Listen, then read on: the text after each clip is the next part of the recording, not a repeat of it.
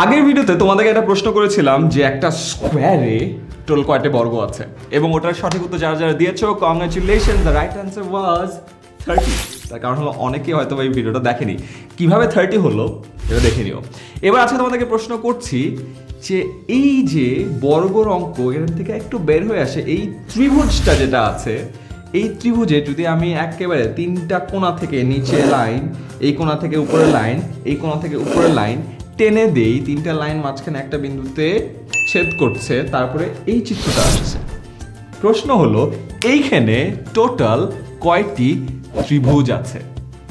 Yes ভিডিওটা এখনই pause করো পজ করে একটু খাতা কলম নিয়ে এঁকে নাও, আঁকার পদ্ধতি তোমাকে বলেও দিলাম। দেন চিন্তা করে দেখো যেখানে টোটাল কয়টি ত্রিভুজ আছে। কীভাবে চিন্তা করতে হয়, যদি বুঝতে হয়, যেটা বললাম, আমার আগের ভিডিওতে কীভাবে বর্গক্ষেত্রের কয়টি বর্গ আছে সেটা বের করতে হবে। যদি দেখে নাও প্রসেসটা বুঝে যাবা।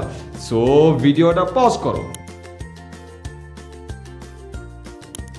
আই গেস এখন পজ থেকে বের হয়ে এসেছ।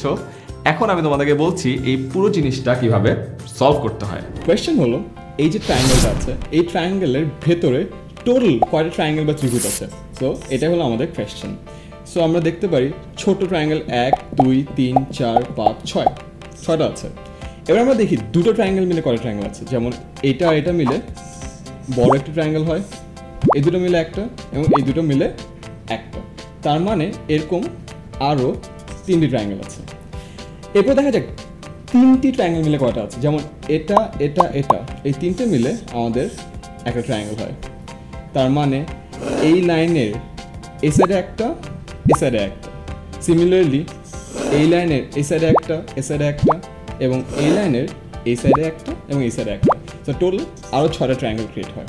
অ্যান্ড ওভারঅল পুরো বড়টা একটা ট্রায়াঙ্গেল সেখানে active one so in total আমাদের ষোলো ট্রায়াঙ্গেল অ্যান্ড ইয়াস এভাবেই খুবই ইজিলি অর প্রবাবলি একটু কাঠখোর পড়ায় এইটার সঠিক উত্তর বের করতে হবে। And yes the right answer is six three six one তার মানে ষোলো।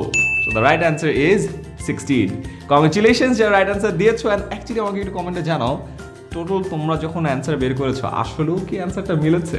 নাকি মিলে নাই?